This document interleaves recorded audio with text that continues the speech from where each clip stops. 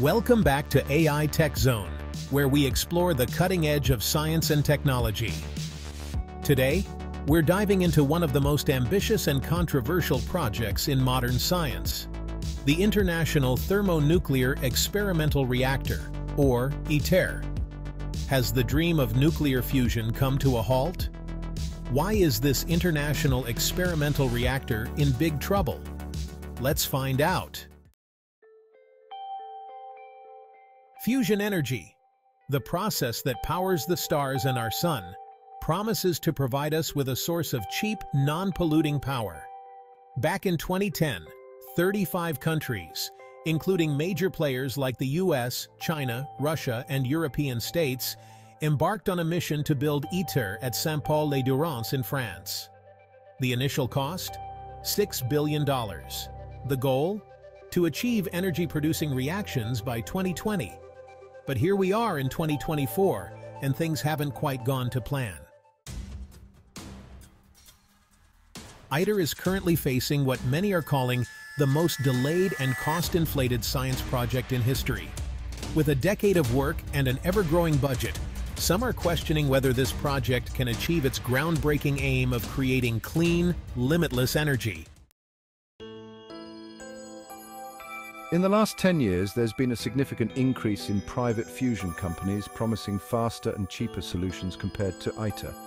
However, it's important to note that some of these claims might be overly optimistic. Despite the challenges, ITER continues to hold promise. One of the crucial areas of research is generating tritium, a rare hydrogen isotope essential for fusion reactors.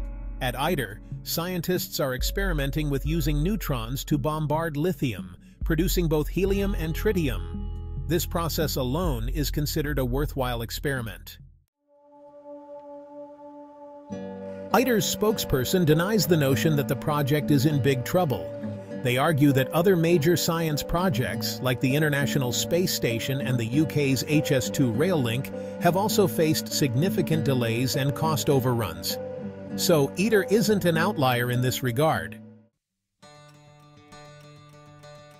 Fusion power's limited carbon emissions could be a game changer in the fight against climate change. However, fusion will arrive too late to help us cut carbon emissions in the short term. It's the significant amounts of electricity produced later in the century that could make a difference. So, is the dream of nuclear fusion dead? Not quite. ITER may be facing significant hurdles, but the potential benefits, clean, limitless energy with minimal carbon emissions, are too great to ignore.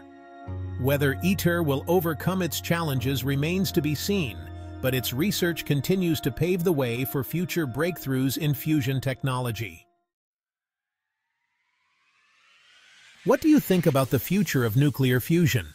Is it worth the investment, or should we look elsewhere for our energy solutions? Let us know in the comments below. Don't forget to like, comment, and subscribe for more insightful content on AI and technology. Thanks for watching AI Tech Zone, and we'll see you in the next video.